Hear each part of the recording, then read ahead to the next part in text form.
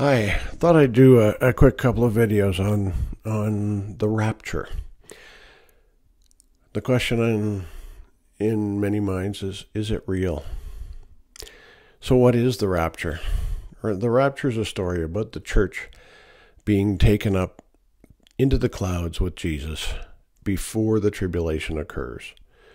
Uh, the whole idea is that uh, Christians will uh, bypass the tribulation. We won't have to to deal with all the nastiness that's coming down the pipe, uh, as we see described in the book of Revelation. It's it's a story based on two verses in the Bible.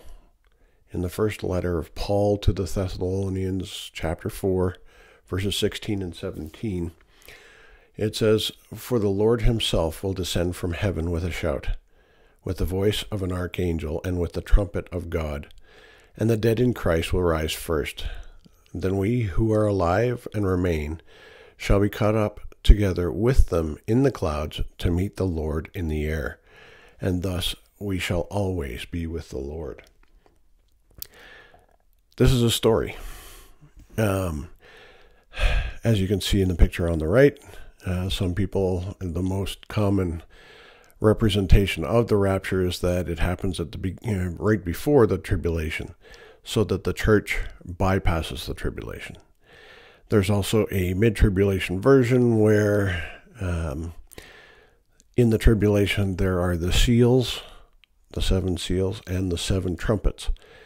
This is, goes in between the seals and the trumpets. This story was started in the 1800s by a guy named John Darby. Does it mean he, it was wrong? Well, it's relatively recent in terms of Bible stories, but that again doesn't necessarily mean it's wrong. It's it's a different interpretation, perhaps. Um, certainly, it is not mentioned in the Bible explicitly. As an example, you cannot find the word rapture in the Bible. Um, those who believe in the rapture say, well, there are a lot of things that, that aren't explicitly described in the Bible, like airplanes and, and other things like that. But the point is that that um, you're only looking at two verses, and there's not a lot you can put in there. However, a whole story has come about because of it. If you look at the uh, synoptic gospels Matthew, Mark, and Luke. Uh, below the red line there, you can see I've added in to the Revelation timeline uh, the uh, the chapters in those individual books that have to do with Jesus answering the questions about the end times.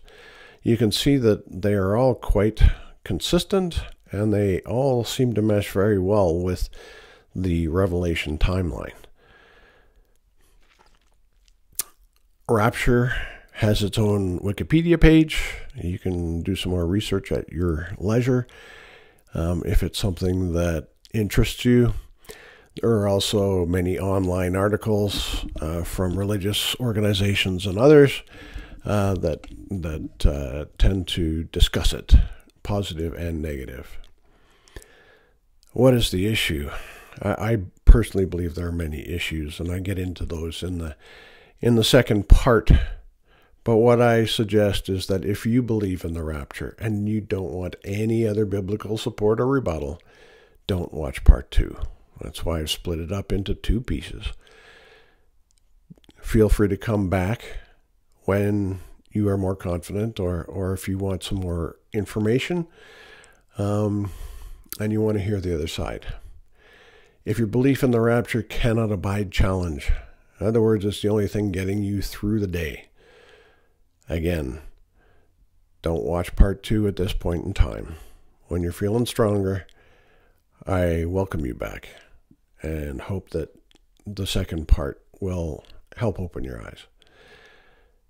What concerns me the most is that people, good people, are getting the mark of the beast because they feel they will be raptured and won't have to deal with any of the consequences of the tribulation and the rest of the events described in the book of Revelation.